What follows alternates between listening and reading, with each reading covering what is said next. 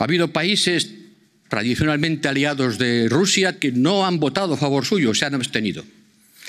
Y ahora hay que construir una coalición internacional para que en la próxima Asamblea General de las Naciones Unidas sea el mundo entero el que condene al agresor.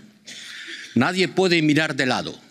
Cuando un potente agresor agrede sin justificación alguna a un vecino mucho más débil, nadie puede invocar la resolución pacífica de los conflictos. Nadie puede poner en el mismo pie de igualdad al agredido y al agresor. Y nos acordaremos de aquellos que en este momento solemne no estén a nuestro lado.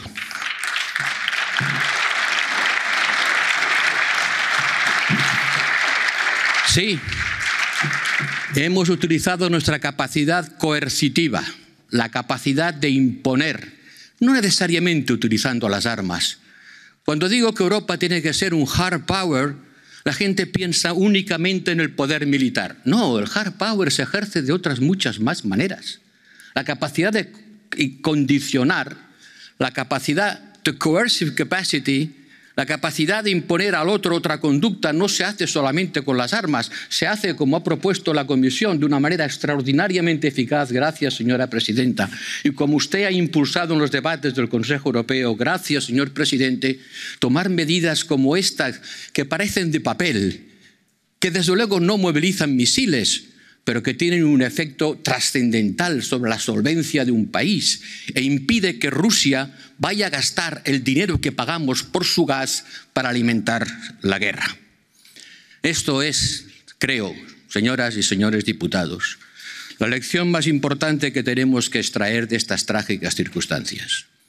Que no podemos seguir confiando en que apelar al Estado del Derecho y desarrollar relaciones comerciales van a convertir al mundo en un lugar pacífico donde todo el mundo evolucionará hacia la democracia representativa.